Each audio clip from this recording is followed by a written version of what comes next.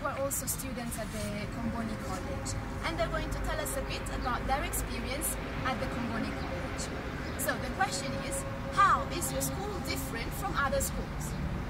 My school is different from other schools because it unites people from different faiths, from different beliefs. For example, like Muslims, Catholic, Protestants, Jehovah Witness, and etc. Also, in, uh, in the schools, they have a chapel near us for Christians Daily, uh, daily mass always provides to us. We attend it. And Muslims, they have a place of prayers in which they go and pray in their prayers.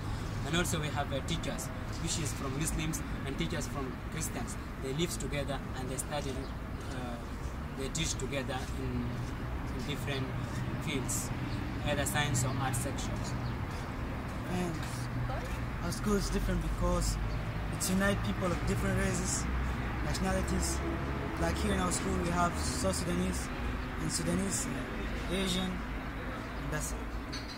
Has this ever caused any troubles? No, at all. There's no problem. It's helped us. We share ideas, and it helped us to live in peace and coexist. Okay, thank you. And Jackson? Well, our school is different from other school because it provides things that are not found in other school.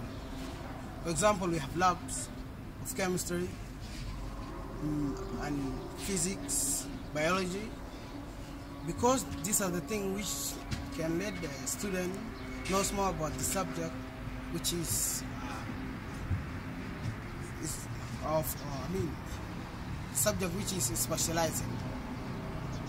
And even in case of uh, in case of, of sports Comboni is known as the best team in Khartoum even not in Khartoum as in Sudan all in case of football volleyball basketballs and tennis ball even we have it.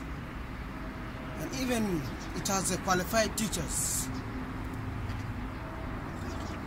Thank you very much guys